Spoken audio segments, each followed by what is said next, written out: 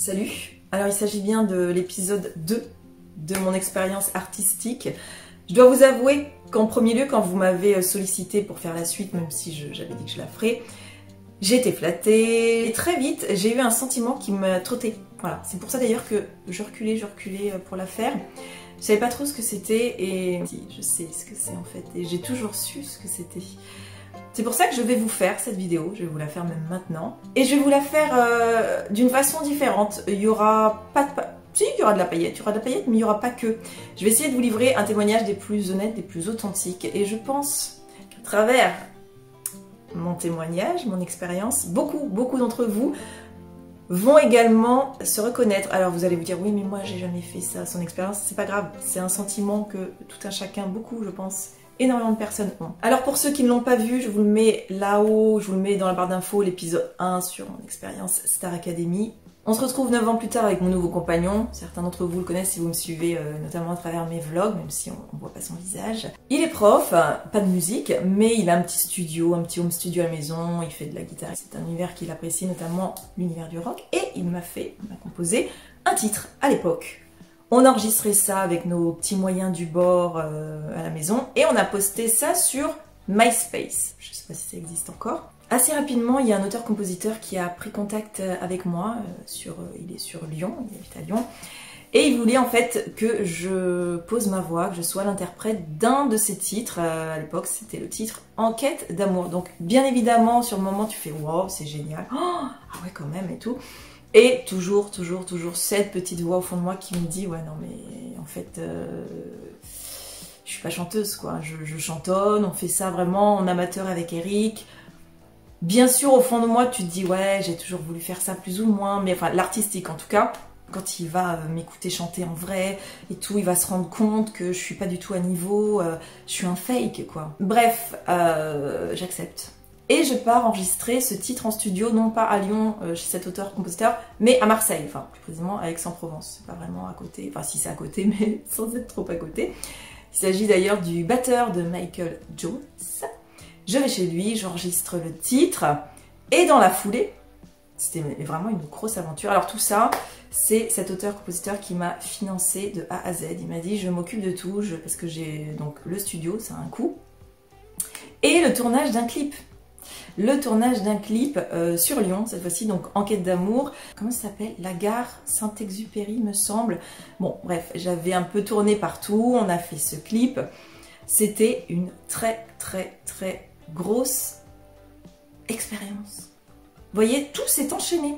Je vous dis, j'ai enregistré en studio un titre, j'avais même enregistré deux titres. Dans la foulée, on rentre, on était parti en voiture, j'enregistre ce clip. Comme tout ça est financé par euh, cet auteur-compositeur que je remercie, mais vraiment encore aujourd'hui. Il y a des choses, voilà, dans ce clip qui moi me correspondent pas. C'est pas moi plus que ça. Il y a plein de choses, mais forcément je n'ose pas trop dire ouais, mais ça j'aime pas. Moi j'aurais fait comme ça. Je, suis là et, j'exécute. Mais euh, après coup, tu te dis ouais, non mais enfin quand même. Euh, c'est ton image, c'est quand même toi qui sera dans ce clip, c'est toi qui vas chanter. Et j'ai pas ce recul de me dire, mais ça va te suivre, en fait, ce titre, il va te suivre. Musicalement parlant, c'est vrai que je fais de très belles rencontres. Je rencontre donc euh, Louis Bertignac d'une façon, mais d'une façon qui mériterait une story time tellement c'est... c'est oufissime, c'est du grand n'importe quoi. Je suis chez moi. Je vous la fais courte, hein, je vous la fais très très courte. Je suis chez moi. Je reçois un message sur Instagram. Euh, quelqu'un qui met un commentaire sur une de mes photos. Et euh, il s'agit de Louis Bertignac. Donc forcément, je dis, ouais, c'est un fake quoi. Et je réponds merci à son commentaire. Et là, il commence à me dire, euh, à me proposer euh, une rencontre. Alors, une rencontre artistique. Somme toute. Ah, je suis là, oh, non, enfin, c'est un fake, c'est pas possible, c'est pas possible. Et en même temps, c'est quand même énorme. Il me dit ce soir, si tu veux, on se retrouve au bus, bus Palladium. Voilà. Et je lui dis, bah moi, je suis pas de Paris, même si je suis à une heure de Paris, euh, ce qui est assez rapide. Il me dit bah comme tu veux, sinon on peut se faire, euh, on passe, euh, tu passes à la maison. Euh, je suis en, plus je pourrais te faire écouter mon album. À l'époque il sortait son album. Mais c'est mais c'est quoi ce délire? Mais en même temps je peux pas y aller. Si c'est un fake, si c'est un serial killer, si c'est une arnaque, si c'est mais je passe pour une con. Donc qu'est-ce que je fais? À l'époque Ma sœur vivait à Paris donc j'appelle ma sister. Je lui dis Julie voilà ce qui m'arrive. Qu'est-ce que je fais? Il me dit bah écoute viens, viens à la maison. Passe le c'était un week-end, passe le week-end à la maison et on avisera. Donc une fois que j'arrive à Paris il me recontacte, Louis Mertignac, et il me dit bah voilà, je te propose, on se fait euh, un truc à la maison comme je t'ai dit, est-ce que tu es toujours euh, partante? Je, bah, je suis sur Paris chez ma soeur, bah viens avec ta soeur. Donc on y est allé, ce qui est plutôt rassurant. Et dans le, taxi qui nous emmène, euh, on se dit mais attends, on était mais en stress, et en même temps, on se disait, mais attends, mais c'est pas possible, c'est un fake, on va passer pour des cons. Oh, mais c'est pas grave, ça restera entre nous. Et là, on arrive, et je vois je sonne et qui je vois Louis Bertignac. Donc je vous la fais courte, c'était quand même... Euh, c'était la quatrième dimension, donc on est resté jusqu'à 5h du matin, euh, écouter la musique, des anecdotes, des trucs, on a même fini à regarder des 3h du matin, Shrek en 3D avec des lunettes, bref. Euh, rencontre de ouf. Et pour vous dire, même en partant, il me dit, bon bah écoute, si tu veux que je te fasse un titre, si tu veux que je te fasse un titre, que je participe et tout, tu me dis.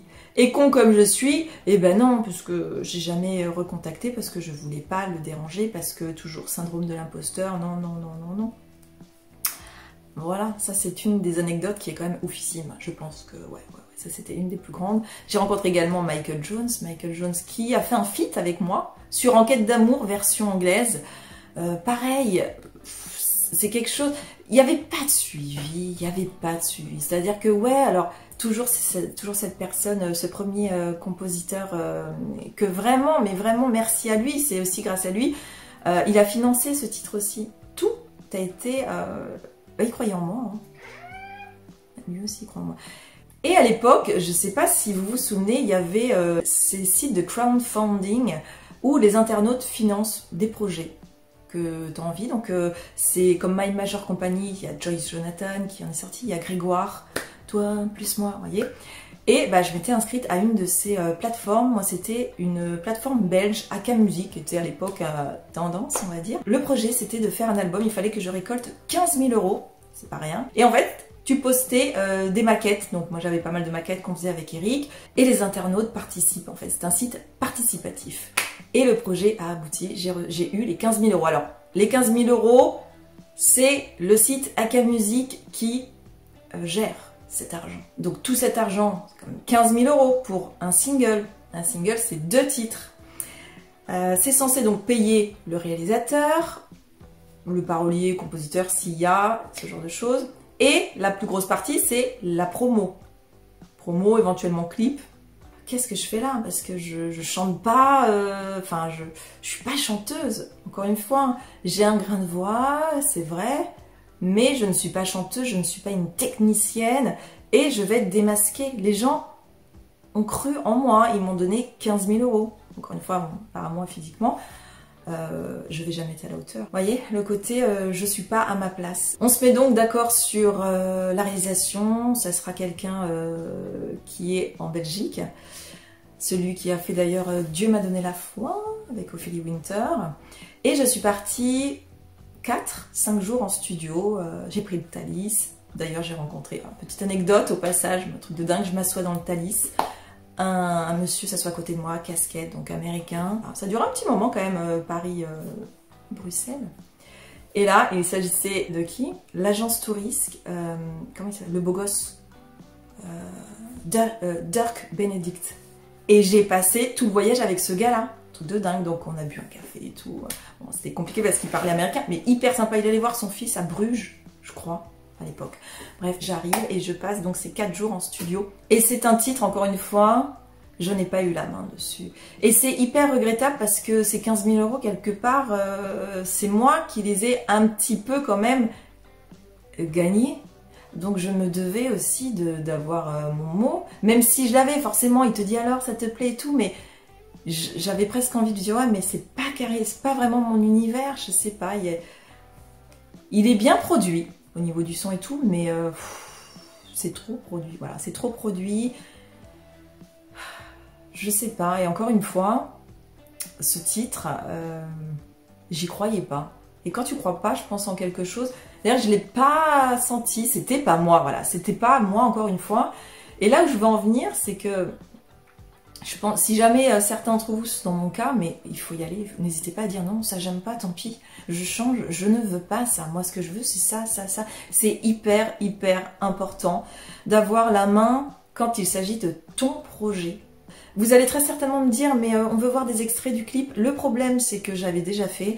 Mais tu ne me vois pas. C'est un titre euh, qui appartient à Universal. J'ai signé avec... C'est eux qui distribuent ce titre.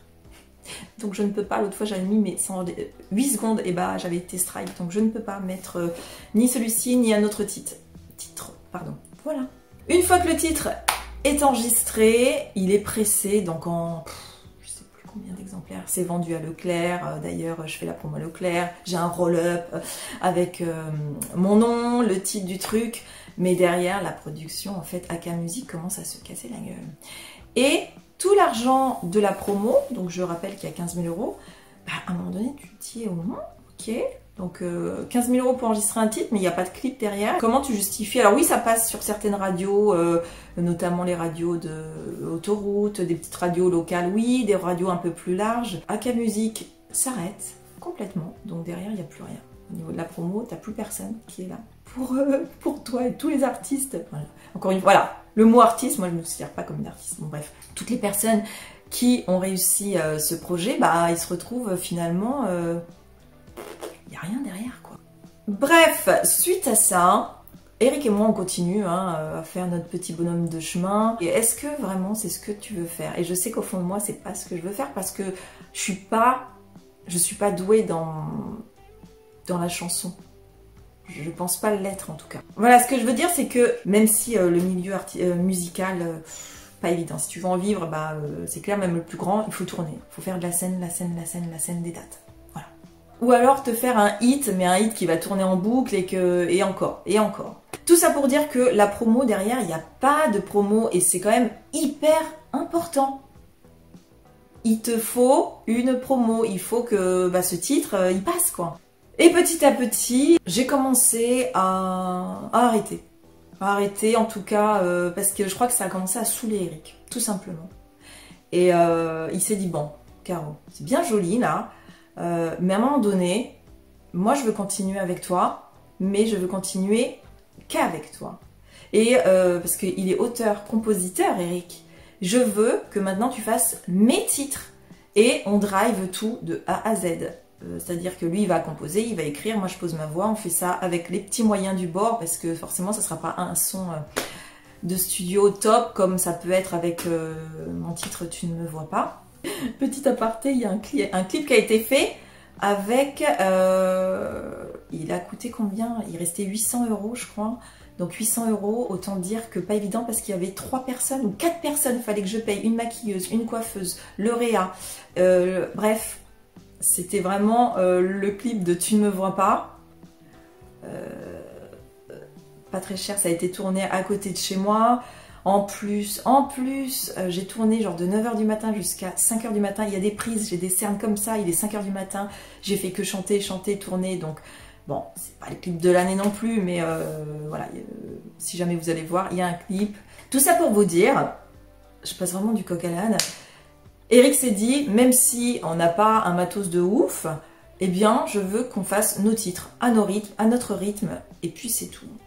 Et c'est ce que euh, bah, nous sommes en train de faire. Aujourd'hui, en ce qui concerne euh, ce fameux syndrome de l'imposteur, eh bien, avec YouTube, je l'ai quasiment plus. Je suis à ma place. Je me sens à ma place. Je me sens légitime. Et euh, j'ai vraiment l'impression d'avoir trouvé. Ouais, d'avoir trouvé ce que je voulais faire, toujours dans le côté artistique, parce qu'on est carrément dedans je me mets en scène. Hein. Et euh, là, je me sens bien. Vous voyez? Ça prend du temps. Ça prend du temps. Mais à un moment donné, tu le sais très vite quand tu es arrivé là où tu voulais arriver. Même si euh, c'est que le début. Voilà, c'est tout pour cette petite vidéo, on va dire euh, deuxième épisode. Il y a plein de choses que j'ai pas... Je suis en train de me dire qu'il y a plein de choses, j'ai zappé plein de choses, mais tant pis, j'ai été au, plus concis, on va dire. Je vous fais un énorme bisou, j'ai un Jackie qui me regarde, j'ai un retour caméra, il est trop mignon. Et euh, bah, on se dit à très vite pour une nouvelle vidéo. Je vous embrasse, merci de m'avoir regardé et écouté jusqu'au bout. Salut